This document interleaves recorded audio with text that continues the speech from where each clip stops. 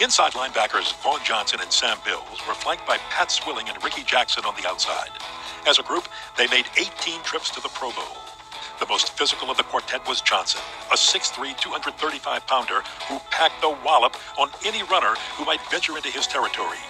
He was quoted as saying, I like to see their eyes roll back, concerning any unfortunate ball carrier to make contact with the four time Pro Bowler.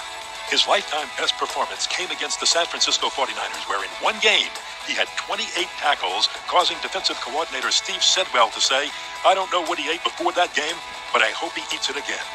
Vaughn grew up in Morehead City, North Carolina, where baseball was most popular and where his dad was a great player. So Vaughn grew up with baseball and basketball as his first loves. Like his dad, he excelled in baseball, a strong armed catcher and power hitter.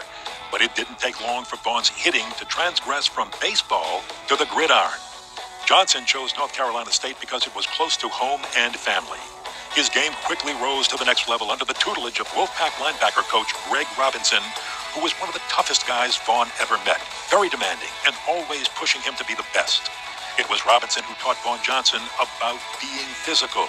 Opponents will tell you Vaughn learned well. So did New Orleans. The hapless Saints had been the league's punching bag since their inception in 1967. The arrival of head coach Jim Mora in 1986 signaled the new beginning.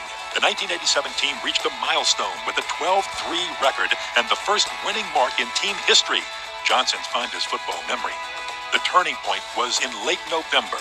A win over the Steelers, stemming from a pair of magnificent goal line stands in the fourth quarter, ended up being a 20 16 Saints win. It was the fifth win in a nine game win streak of a memory making season. Johnson spent eight seasons in a black and gold uniform from 1986 to 93, finishing his career with 669 tackles. The Dome Patrol stands as the NFL standard for linebackers. All four were selected to the 1992 Pro Bowl, the only time all four linebackers from the same team were so honored.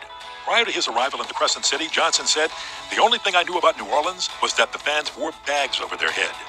After Vaughn Johnson's career, the bags were never needed again.